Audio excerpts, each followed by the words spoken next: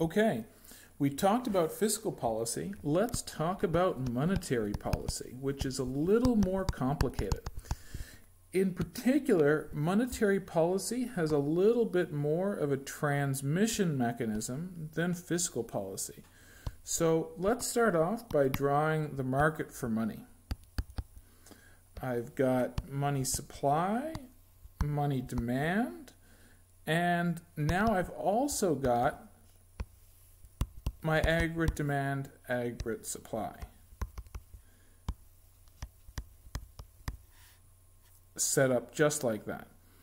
Now, the central bank here is going to try and increase the money supply. And when it increases the money supply, it succeeds in lowering interest rates.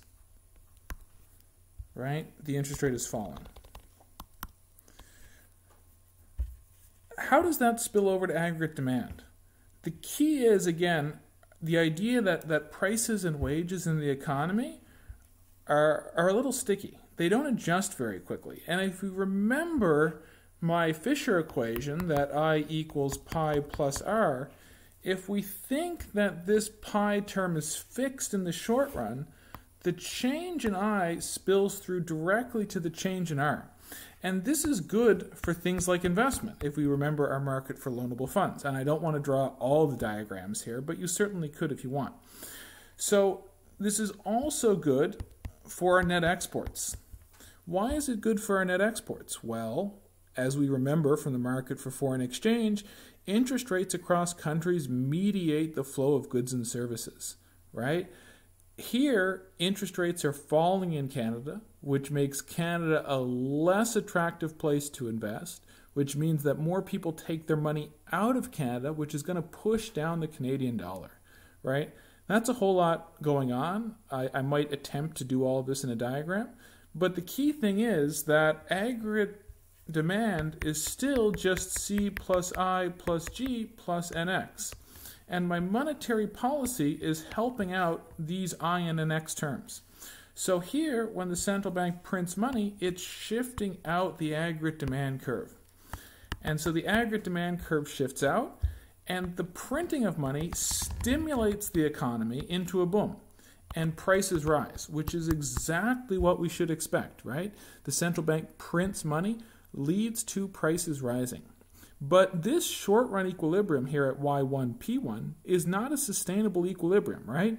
It's above long run aggregate supply. None of the money printing that the central bank did affected our long run aggregate supply. We still have the same amount of technology, the same number of workers, the same number of factories. Extra dollar bills don't change any of that. Well, what happens next? When the economy is running unsustainably hot, like it is at Y1, right, wages start to rise. And the wages rising are what pushes up short run aggregate supply. So wages rise, wages rise, wages rise, and we end up somewhere up here at P2 for the long term equilibrium, right? So monetary policy, just like fiscal policy, acts on the aggregate demand curve, but they stimulate different parts of it.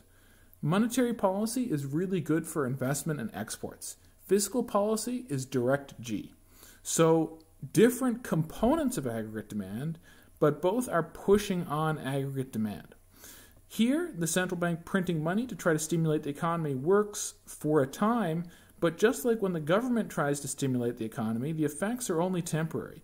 Wages and prices adjust, and when wages and prices adjust, the short run aggregate supply curve moves up, and we have to get back to long run aggregate supply. If we do not increase our capacity to produce, we're always going to get dragged back to the long run aggregate supply. And so wages end up undercutting the central bank's expansionary plans, and we get a temporary boom.